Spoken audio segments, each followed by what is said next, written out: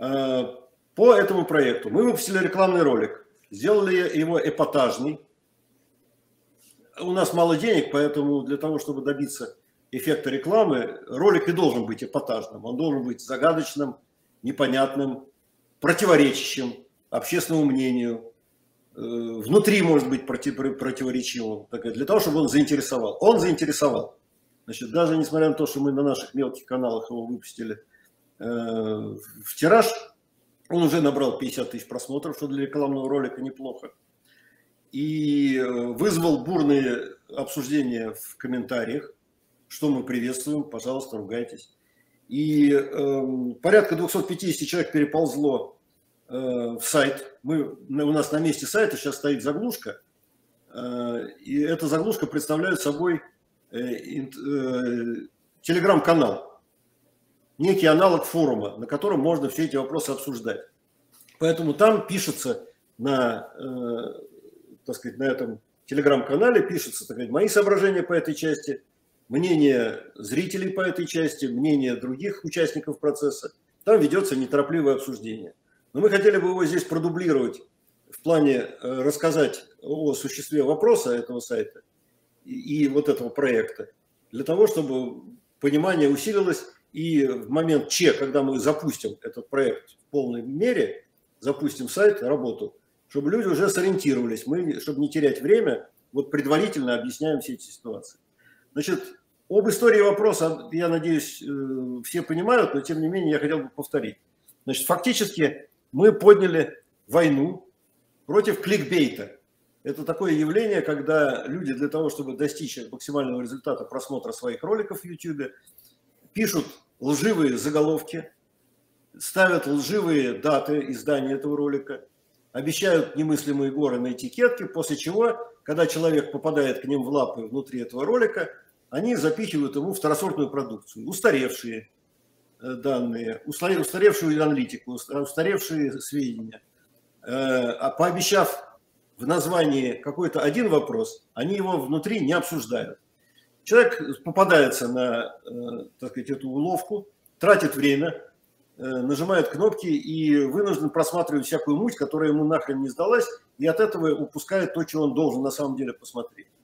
Именно поэтому мы выставляем абсолютно понятную, простую систему рейтингов, которую мы даем по времени, указания, когда выдан, сделан этот ролик, чтобы люди ориентировались. И, что, что там не, не написали, что три минуты назад произошло что-то. На самом деле ролик записан три недели назад. Вот мы честно пишем, что этот ролик три, трехнедельной давности и находится поэтому в рейтинге где-то в конце, если там какая-то есть разбежка по странице. Точно такая же ситуация с качеством. Мы откровенно говорим, соответствует название этого ролика тому, что есть в самом ролике, или не соответствует. Причем авторы ведь два раза дают название. Они дают в этикетке раз и в описании два. Мы анализируем обе эти вещи. Соответствует ли название этикетки и соответствует ли э, так то, что происходит в самом внутри, в самом ролике, соответствует ли это э, то, что сказано в описании.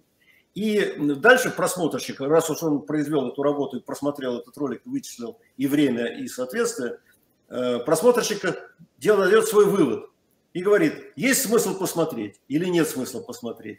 Оценивает это в баллах. 10 баллов – это очень хороший ролик, его желательно просмотреть, он дает полезную информацию, он правдив. Или один балл – это когда полный отстой, ну, смотреть нечего, это обманка, так сказать, плохого и качества и записи. И все. Ну, по совокупности причин смотреть его не стоит. Вот вся разбеска от 1 до 10 баллов, она, она возможна. В дальнейшем, в дальнейшем, может быть, у нас получится привлечь к этому вопросу искусственный интеллект. Мы для этого специально ищем каких-то гениев. Возможно, в будущем мы будем э, изготавливать рецензии на ролики, чтобы они поучаствовали в конкурсах. Возможно. Пока на этом этапе у нас на этих местах стоят заглушки, будут стоять заглушки. И мы пока просто оцениваем это вот как есть. Сервис этот платный. На него надо подписаться. 150 рублей в месяц стоит это удовольствие.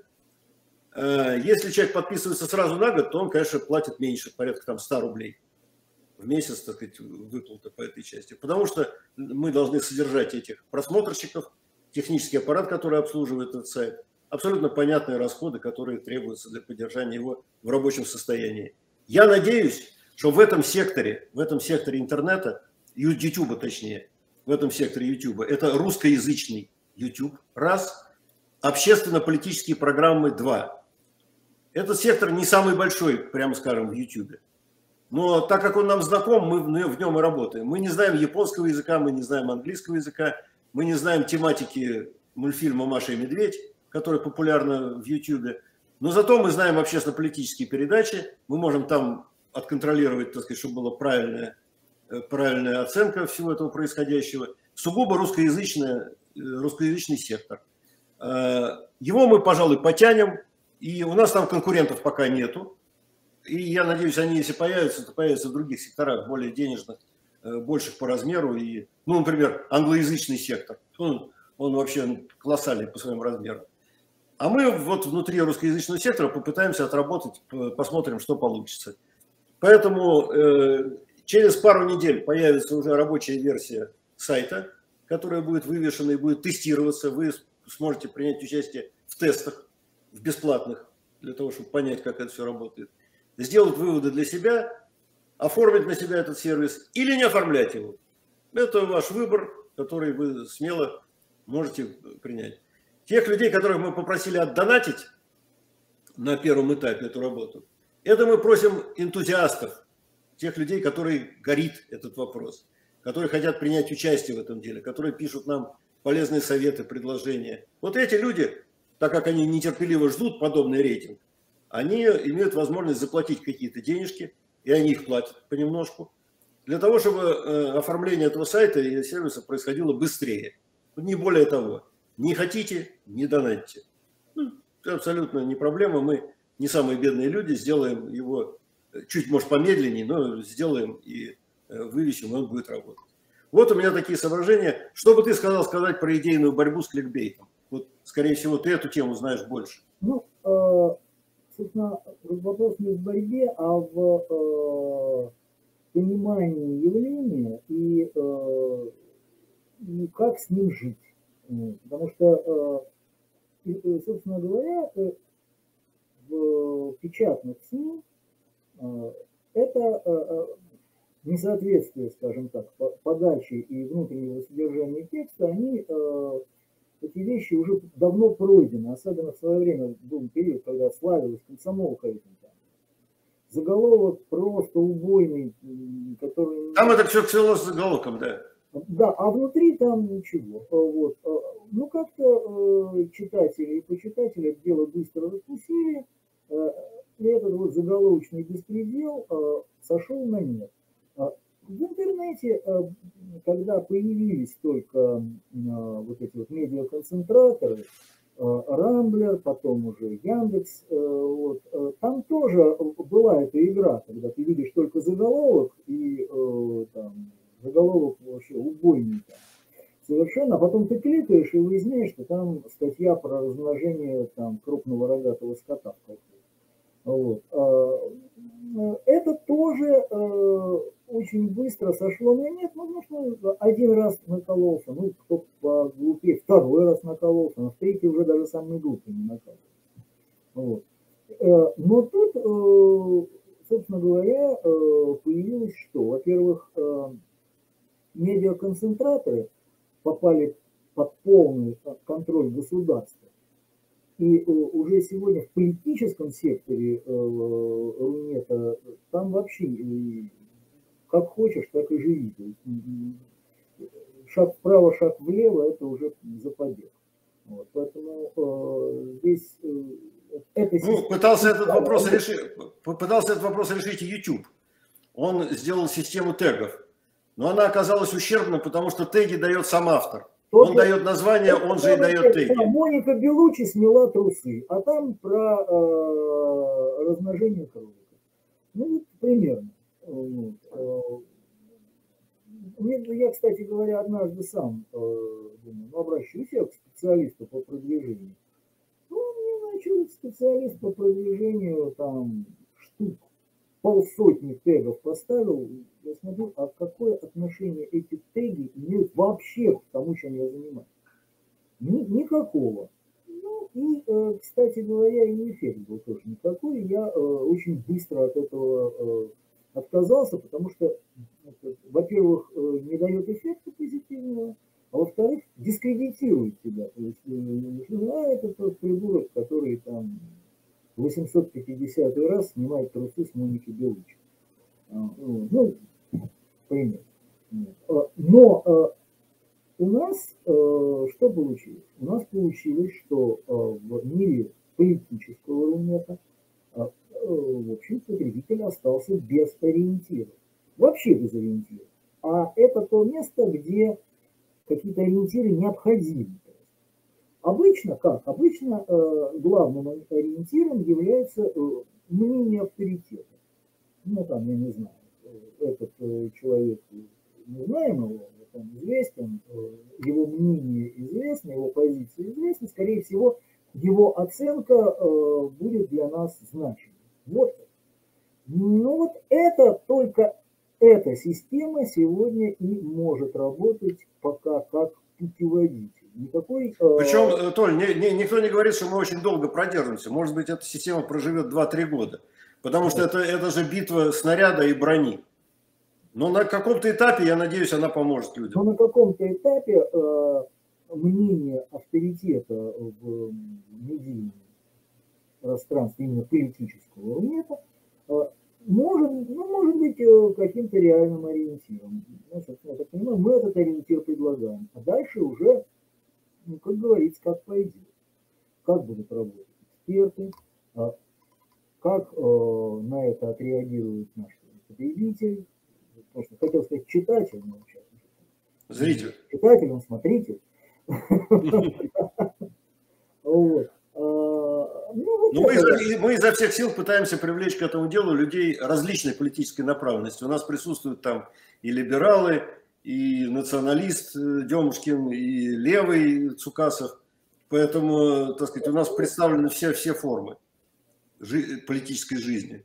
Ну, э, тут, э, видимо, надо круг экспертов немного расширить Просто потому что... Расширим, это в ролике просто их пять человек записано, но я, например, я даже от «Единой России» нашел человека, э, Кирсана Илюмжинова.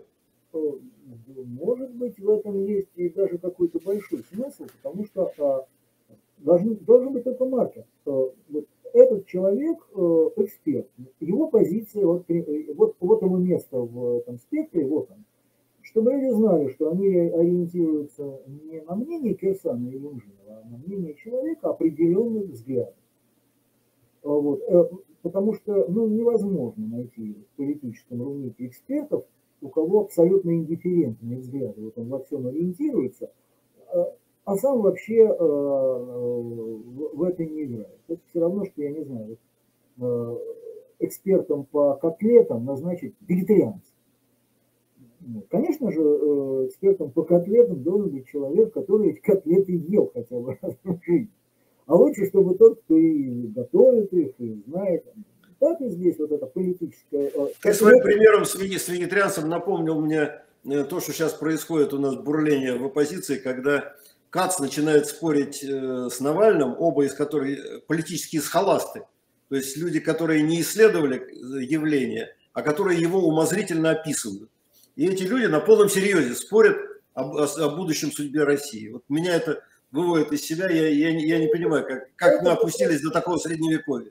Это нормально, это не средневековье, а, это уже а, ранний этап а, демократии, когда вот, буржуазия впервые, может быть, в своей жизни вывалила на улице, и кого она слушает? Да тому, кто громче кричит, кого лучше слышно. Потом вдруг выясняется, что ну, нет, наверное, ориентироваться на мнение э, торговца рыбой, у которого очень громкий голос оказался профессиональный. Ну вот он громче всех кричал на рынке. Как говорил Жванецких, вкус устриц надо обсуждать с теми, кто их пробовал. Это совершенно очевидный вопрос. А хотя ранняя демократия, пожалуйста, у нас и слово голосование даже, собственно говоря, имеет новгородское происхождение, голосование голосом, вот какой конец Новгорода громче орет, тот и победил. Ну, собственно, это ж так было. Ну, Мы здесь ушли, ушли от э, темы в актуальные какие-то проблемы. Значит, про проект. Да, э, вот нужно, чтобы были вот эти шерпы, люди, которые дают оценку тому или иному проекту, или тому или иному событию информационному, в том или ином исполнении, чтобы человек, который интересуется, но не имеет возможности следить за этим постоянно, э, облигатно, что называется, является факультативным таким потребителем политической информации. А их большинство, кстати. Это норма, это абсолютно норма. Если все станут политологами, что мы будем есть? Кто будет нам чинить кран? И так далее.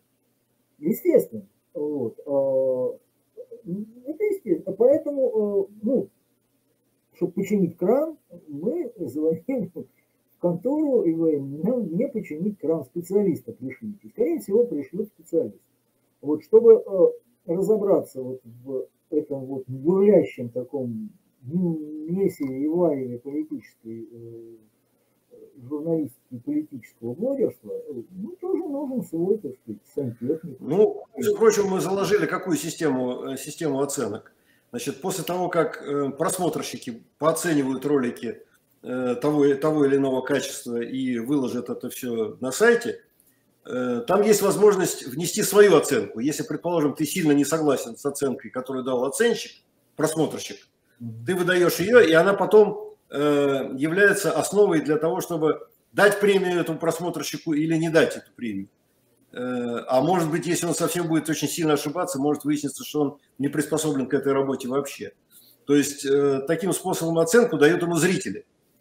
То есть он отсмотрел ролик и говорит, а что этому оценщик дал 3 балла, хотя там целых 7 может быть, или наоборот. И такая система регулировки, она учтена, потому что сайт большой, там возможность такая имеется.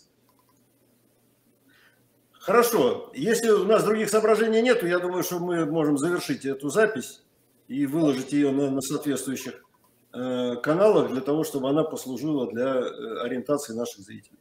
Спасибо вам большое. Спасибо. Спасибо.